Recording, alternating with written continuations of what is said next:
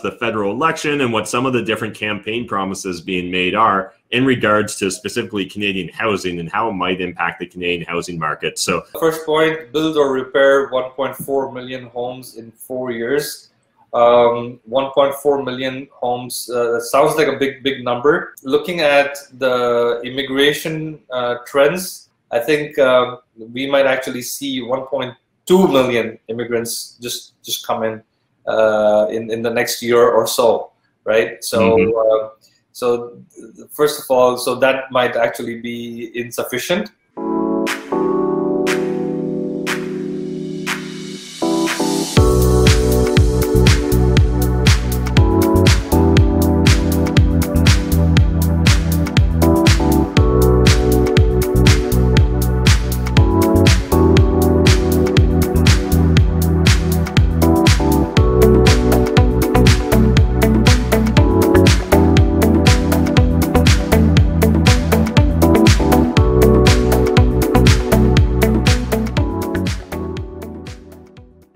What is up, YouTube? Matt McKeever here, and we're back with Waiz talking about the Milton real estate market. Hey, Waiz, how's it going? Hello, Matt. Thanks for having me here. How's everything going in your corner of the world these days? Uh, it's uh, it's going well. Um, you know, uh, obviously some uh, hiccups and obviously some election promises are are putting some people at bay mm-hmm. and and some panic. Uh, so let's have a look at that and also, I just have a little bit of an update on my uh, basement uh, reno coming along.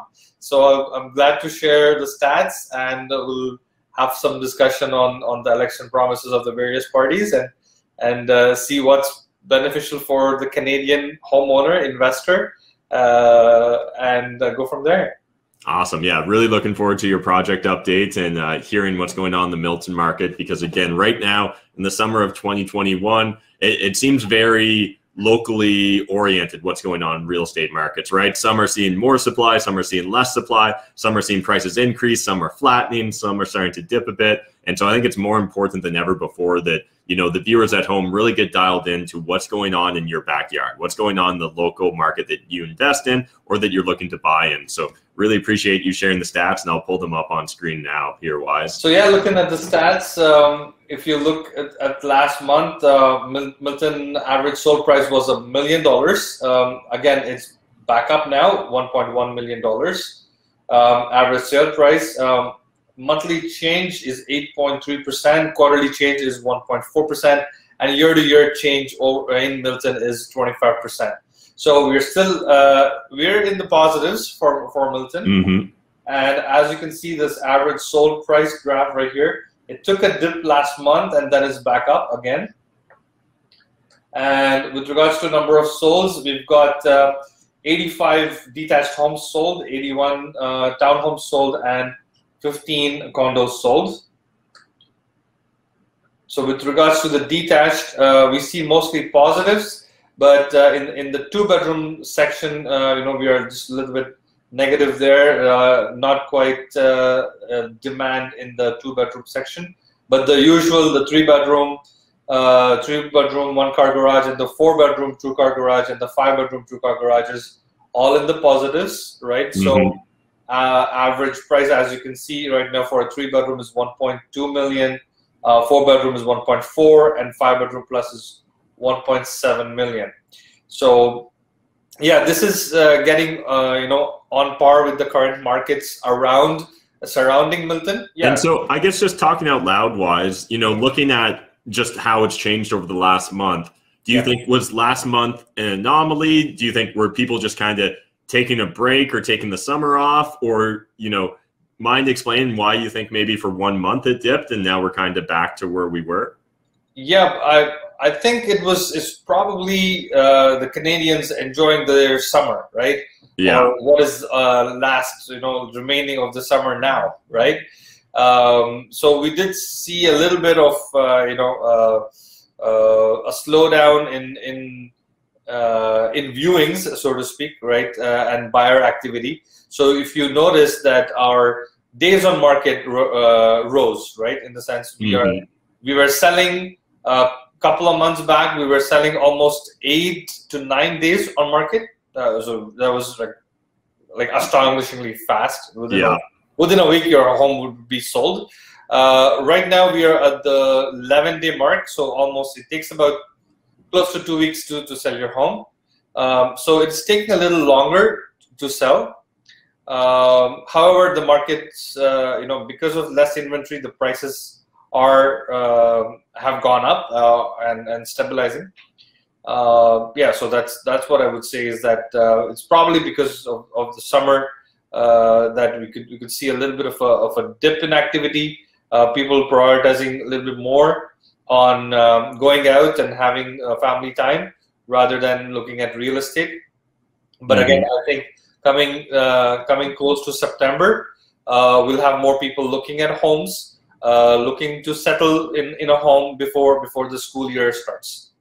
Gotcha. Yeah, really appreciate you sharing that perspective because I know you know sometimes looking at these stats or these graphs for the average viewer, they're like, well, which way are we coming or going now as a market, right? And obviously, no one's got a perfectly working crystal ball, but really appreciate you sharing your perspective. Yeah, thanks, thanks, Matt. So yeah, so let's uh, dig down a little bit more deeper uh, with regards to the townhomes and the condos. Uh, so townhomes as well, uh, still positive. Two bedrooms, three bedrooms, and four bedrooms uh, have uh, significant, you know, positive increases year over year. Mm-hmm. Um, yeah, so yeah, in, in the sense, if, if you're if you're a couple looking for a townhouse, uh, good starting point uh, is is the two bedroom uh, which is starting around two, uh, sorry, 750 ish. Mm-hmm. And uh, if you're uh, a family looking for a three bedroom, about uh, 899 or 900, uh, you could probably land up with something around 850 as well, depending on depending on the location and the condition of the home. Um, yeah, so townhomes. Uh, and yeah, some premium executive townhomes are selling over a million dollars. Uh, uh, you know, in, in premium locations. And generally, if they are um, also end unit, they, they are uh, touching a million dollars. Gotcha. And for anyone that's new to the Milton area, what are maybe some of those premium areas or neighborhoods that come to mind?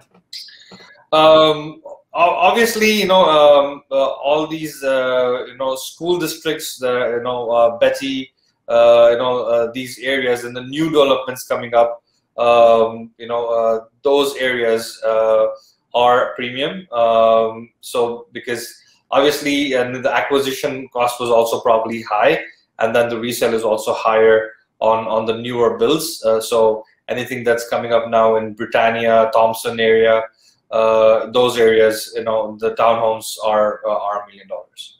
Gotcha.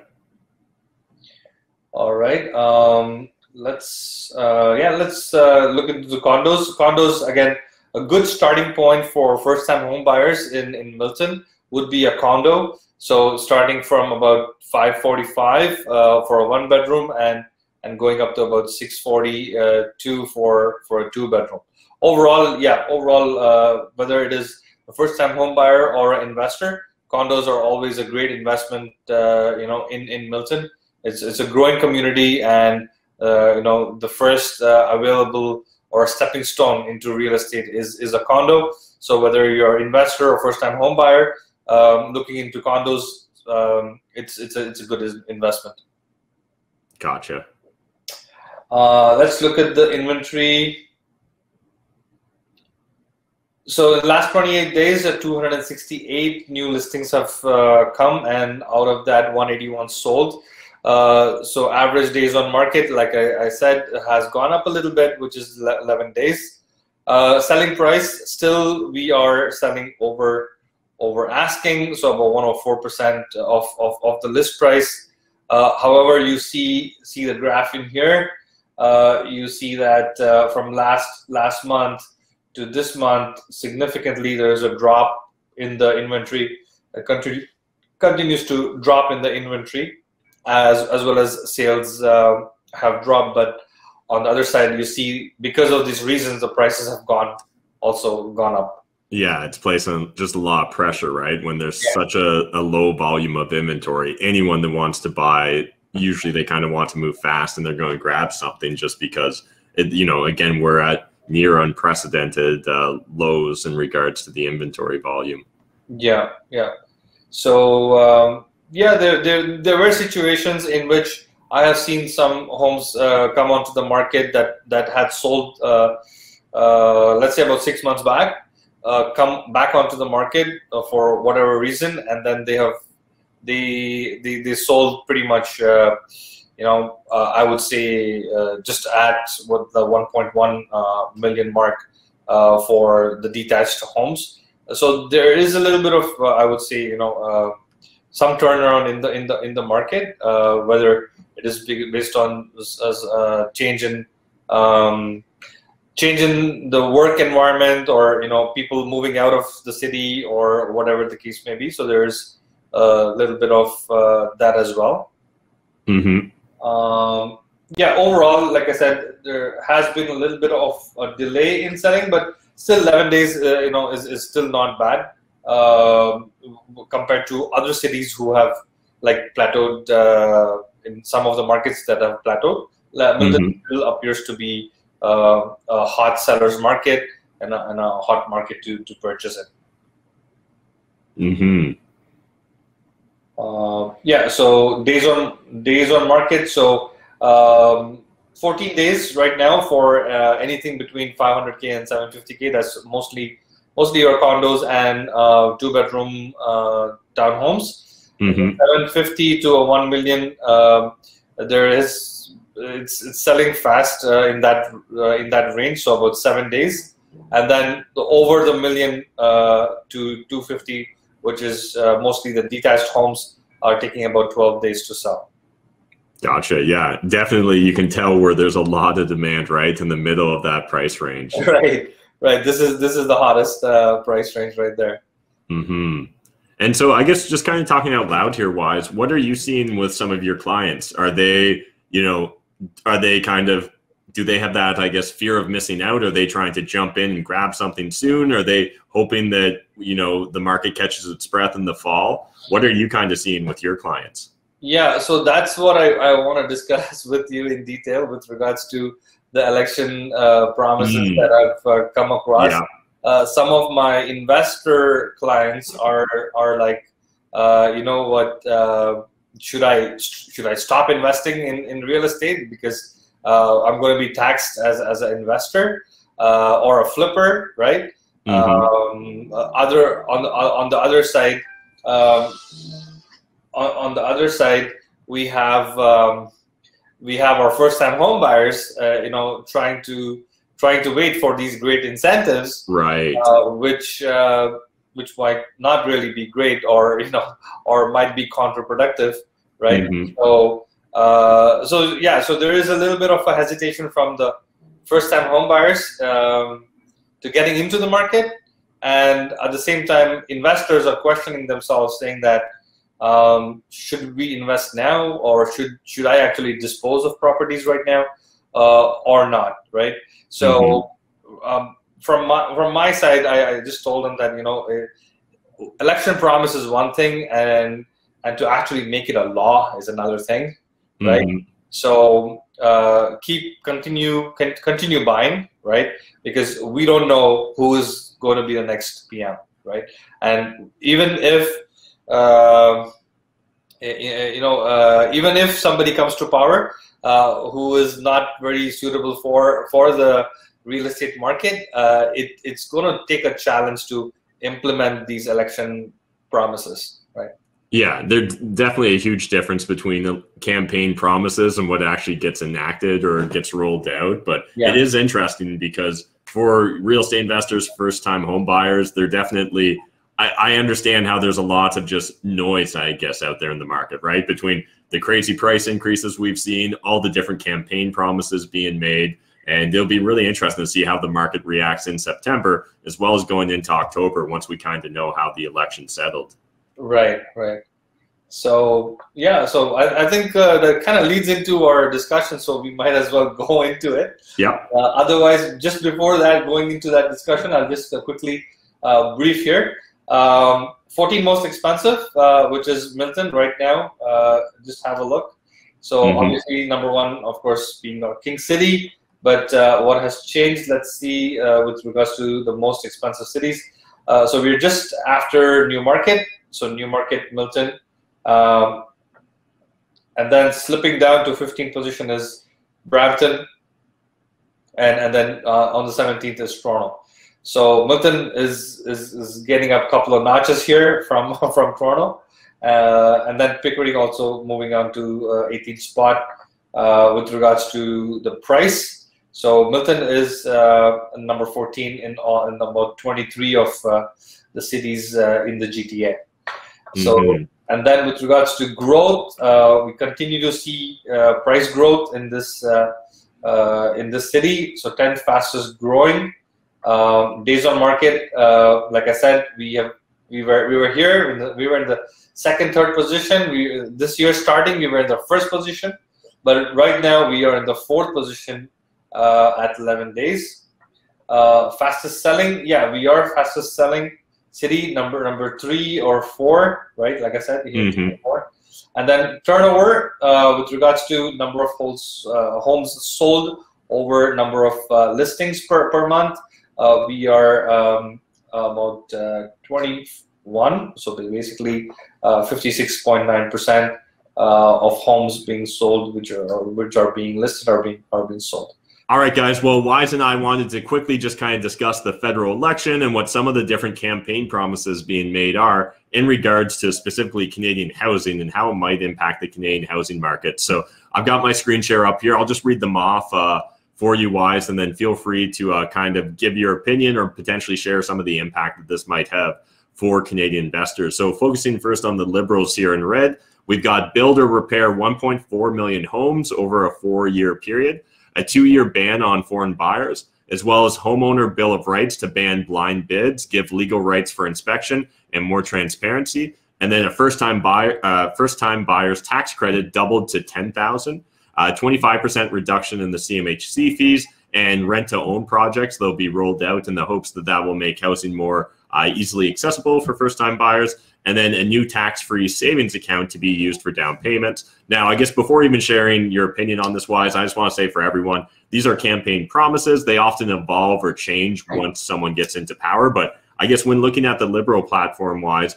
what do you think you know Canadian investors or people looking to buy in Milton should be aware of?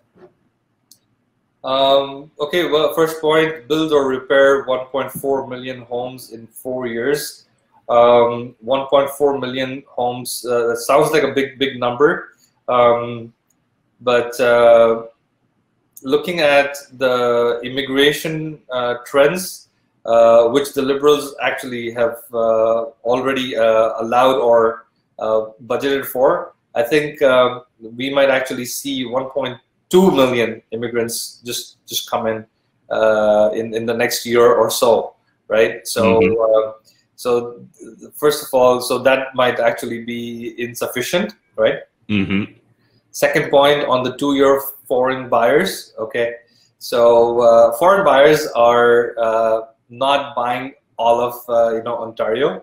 Foreign buyers are probably around four to five percent uh, in the whole scheme of things, right? So it's a very small number. So if, if you say five percent, you know, uh, you know, is, is I would say, you know, it's not even um, significant in, in the whole scheme of things uh, because it's just, uh, you know, they're just catering to the fear mongering, mm-hmm. saying that, oh, everybody, you know, all the foreign buyers are coming and buying everything.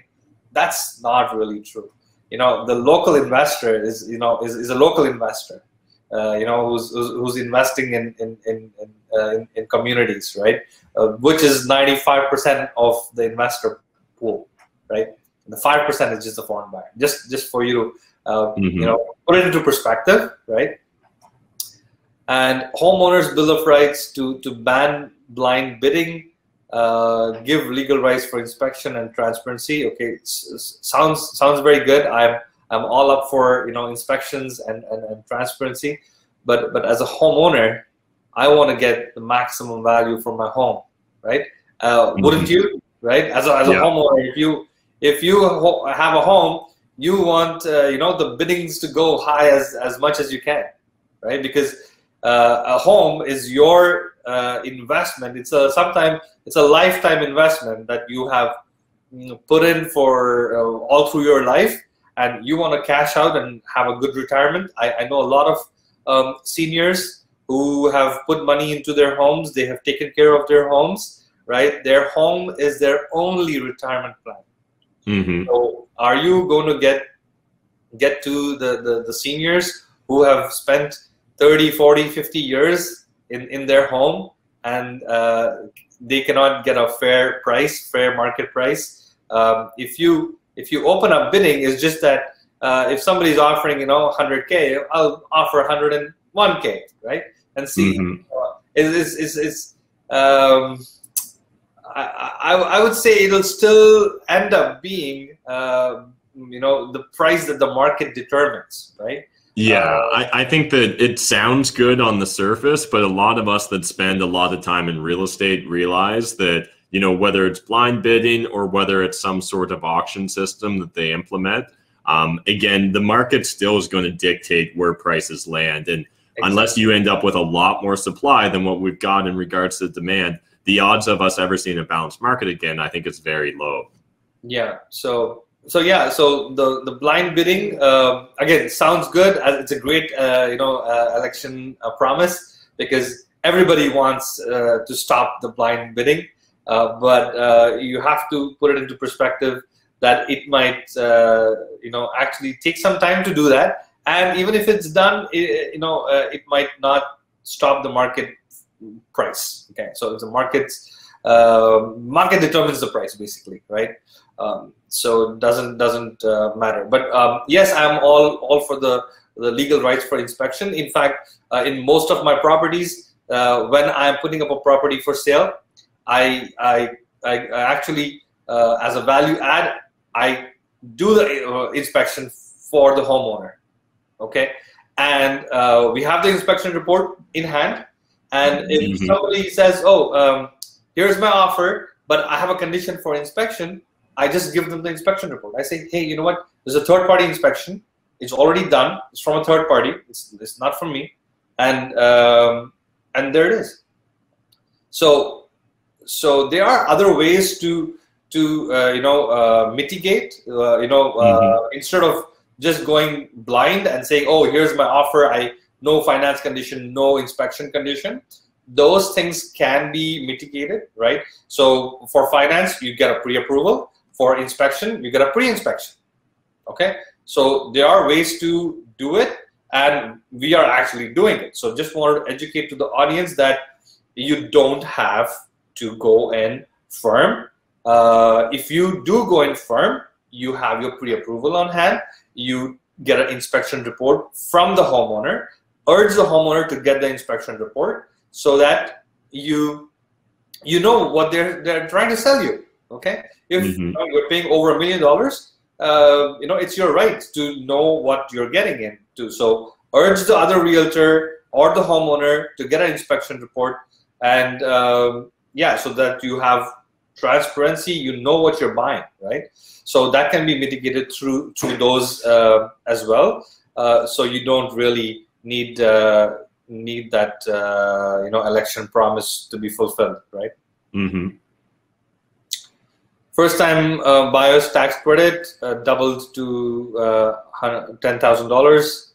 Um, yeah, it's it's it's a it's a nice uh, you know uh, gesture, but uh, what do you call it? Just uh, It's probably not going to really move the needle, though, in the big Yeah, scheme of things. yeah, because uh, you know the homeowner has a lot of uh, uh, expenses and, and the closing costs and everything. So uh, yeah, the four thousand dollars that are, that is currently uh, provided, uh, it's not even making uh, you know uh, any impact uh, to to that um, uh, as well. But uh, so it's additional six thousand dollars. Let's put it that way. It's not. Uh, yeah, so it's just additional five or six thousand dollars. hmm Uh, 25% reduction in CMHC. Uh, of course, uh, CMHC, just to put it in perspective, they have uh, lost significant market share in, in the past year or so. And Mhm. um, they're just trying to gain back the market share, you know, by, by reducing the CMHC fee. Um, Yeah, again, it, it'll make a small difference for first time buyers, but realistically, it's not going to magically make housing more affordable. Yeah, so if it was like what the the CMHC fee was two percent, so it will be like one point seven five percent. Mm-hmm. Yeah, and and and rent to own programs. Oh God, where should I uh, start even uh, here? You know how you need to understand. You know, for the audience, I'm just saying this. You know, uh, you need to understand what is a rent to own program. Okay, a rent to own program uh, is is where the renter pays above market rents. Okay, so let's say you're paying $2,000 right now in rent. A rent to own program, in order to save for your deposit, you have to pay $2,500. For that $500 to go into your saving for your deposit. Mm-hmm. So as it is, the rents are high. And Yeah. rents are going higher every day. We're we are having multiple offers uh, in rental. Mm-hmm.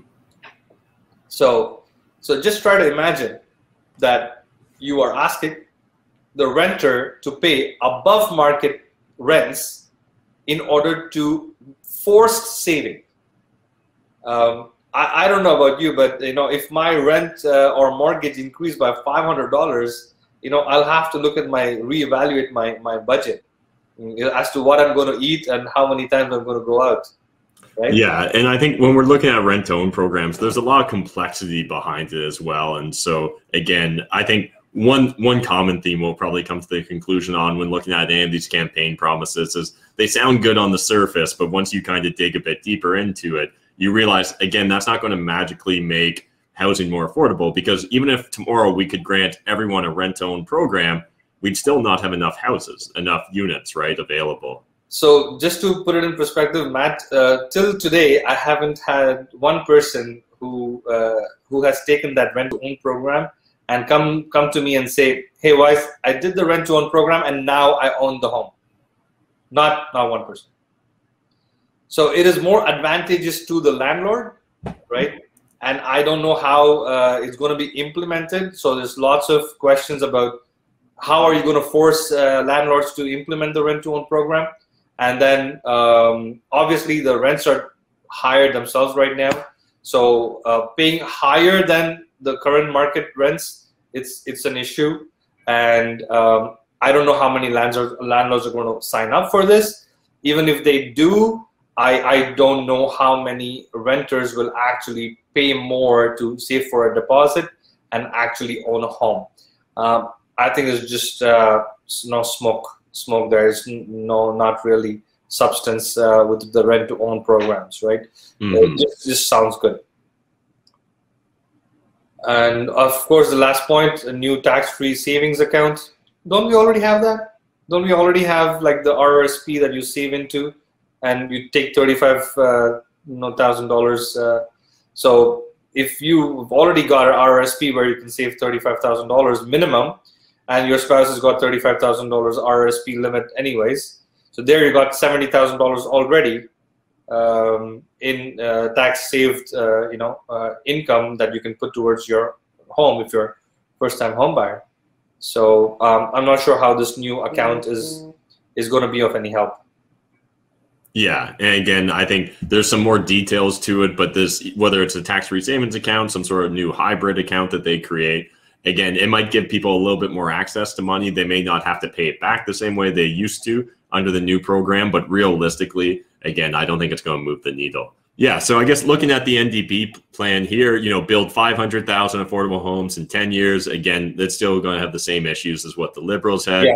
20% foreign buyers tax, again, similar to what you were saying before, Waiz, really not going to make much of a, a Yeah. difference, right? In the big And, and you know what? The, the foreign buyer, the 20% tax, they're going to pay. Mhm. They're Yeah. going to pay. They're, they you, you think the foreign buyer is, is going to shy away from the 20% tax because they know they're going to make five times the amount of money when they when they sell it, you know, a year, two years from now. Uh, it, the foreign buyer is just going to pay that 20% tax. It's, it's not a big deal for the foreign buyer. hmm And then eliminating federal HST or GST on affordable home and rental projects. again, it might save a little bit of money, but it's unlikely going to spur a huge amount of new builds. You, you know what? Eventually, these kinds of uh, you know um, programs where you're you're uh, cutting tax somewhere is just going to increase uh, your personal tax uh, or uh, tax another another place. Okay, it has to balance out, right? It's it's income to the government, and it can't just uh, be go without it. And then they've got the reintroduced 30 year insured mortgages. Again, this is essentially just going to extend payments for people. It technically makes it slightly more affordable on a monthly basis, but what you're really doing is locking someone in to more payments for a longer period of time. Right. Again, that's not really going to solve the fact that we don't have enough houses. Yeah. And then we've got rental support of up to 5000 per family. Again, this might help individuals that are looking to rent um, out units. But again, understand that that $5,000, if it goes to a lot of families, every family is going to have five thousand dollars now to bid on more rental units, and again, that's actually just, just going to yeah, raise. It's, just going to equalize uh, the playing field again, right? Mm-hmm. And then streamline funding for co-op, social, and nonprofit housing. Definitely, if there's fat that can be cut from the bureaucracy, I'm always for that. But again, it it's something that's very fuzzy when you say it, right? We're going to streamline things. We're going to find efficiencies. Yeah. And then we've got the conservative platform, build 1 million homes in three years. Again, that's going to still have the same issues that the others do. Two year ban on foreign buyers. Not making, the, not making the impact. Yeah. And then ease stress test for requirements for self employed and contractors. Again, I think this is such a small part of the population, right? Yeah. That one, it's not going to impact that many people. And then secondly, again, still we need a lot more properties. Yeah. And looking at extending the seven to 10 year mortgage term options you know, right now there's already seven and 10 year mortgage options available to a lot of Canadians, but we're just not incentivized it's, it's, because they're so expensive. Yeah, the, the banker is not going to ask you to, you know, put in the 10 year uh, term because it's, it's more expensive and you will run away from it. But uh, there is options available and maybe you actually, you should take a 10 year term. If you're in the long run, maybe you should take a 10 year term because you're going to eventually pay down faster. Just a mm-hmm. side note. Mm-hmm. And then, uh, for the conservatives, they're encouraging investment. And I believe this is specific to foreign investors, but encouraging investment in purpose built rentals. I think this definitely could have an impact, but it really comes down to how exactly they're going to encourage or foster that, right? Mm-hmm. mm-hmm.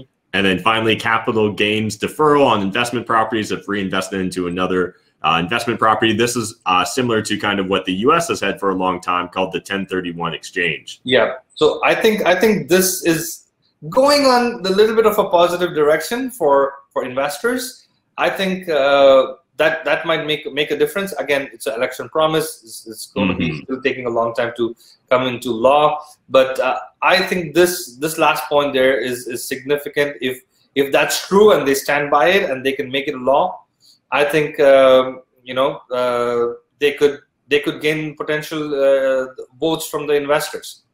Yeah, and it certainly could allow investors to recycle their money and improve additional units, bring on additional rental stock and things of that nature. Again, the devil's definitely in the details when it comes to any of these policies and whether they'll actually implement it. Um, but before we wrap up today, Waiz, I would love to just catch that quick little video you've got of you touring or uh, showing off the uh, new entrance that you've added to your uh, basement apartment. Sure.